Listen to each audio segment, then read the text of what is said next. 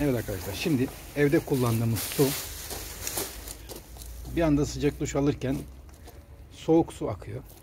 Su dengesiz geliyor. Dışarıda bu pompa tak tak tak tak tak tak çalışıyor. Onun için ne yapmak gerekiyor? Bu sorunları çözmek için öncelikle bu tankın içindeki suyu boşaltıyoruz ve havayı kontrol ediyoruz. Şu anda su var içinde biz hava bastık. Havayı kontrol ettiğiniz zaman 3'ten düşükse yani bu şu anda 4 ile 2 arasında 3'te bu seviyeden düşükse su boşken içine bu pompayla hava basıyorsunuz. Ve gördüğünüz gibi tık diye çalıştı duydunuz. Şimdi bekliyoruz. Su basıyor. Yükseliyor. Ve durdu. Bu sıklık is good. Wait and full. But if you say tak tak tak working no good. Yeah. Yani şimdi havası iyi demektir.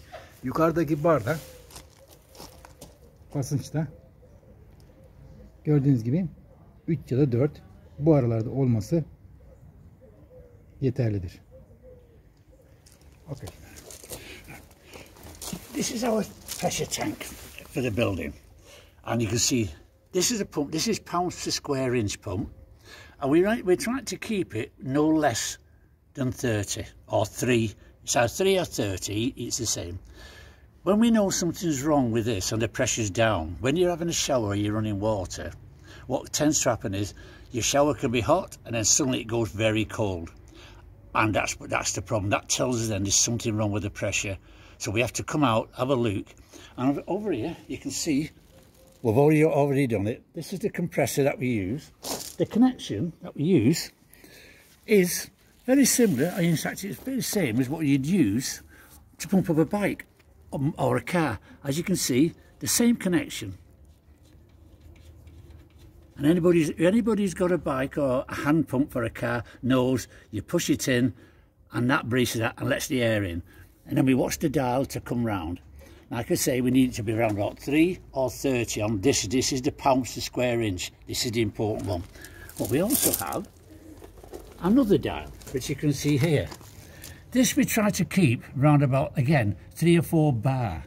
So these two have to be roughly the same to keep the water pressure in the house equalised. Otherwise, like we say, it will be fluctuating between hot and cold. We can tell something's wrong because when, when you're using the water and the pump kicks in, it is not a steady noise. It becomes, and it's a sound like this, the air, it's got an airlock in it. And that tells us then we have to come in and sometimes we have to drain it down a little bit to let to get the air out and then refill it with water and then get and then pressurize it again. But now it's all done, so hopefully for maybe four or five weeks, depending on how much water we use, this should be okay again. But like I say, we'll know when it's going wrong, how it sounds, and the water pressure in the building if it starts to fluctuate. Thank you very much. See you again.